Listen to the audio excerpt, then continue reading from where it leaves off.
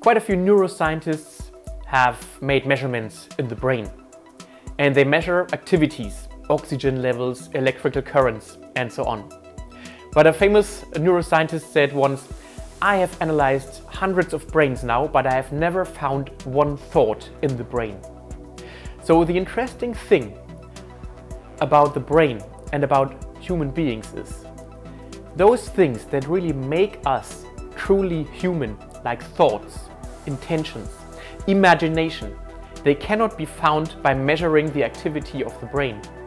For example, when we see a picture, photons arrive at the eye and these signals are transferred into electrical currents.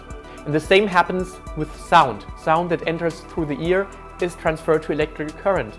But we as human beings, we don't respond to electrical currents, but we hear a sound or we see a picture. And we don't know where exactly this picture is seen in the brain or the sound is heard. So it seems that what makes us really human is more than just matter, the matter of neurons. You can compare this situation to a radio, for example. You can understand the wiring of the radio completely on the grounds of physics and chemistry. But if you ask, what makes a radio a radio? It's not the wiring and the physics and the electrical currents, but it's the message that is transferred through the radio which makes a radio a radio. And it's similar with our brain. It seems to be the tool for ourselves to communicate with other selves. So I would say human beings are more than their brains.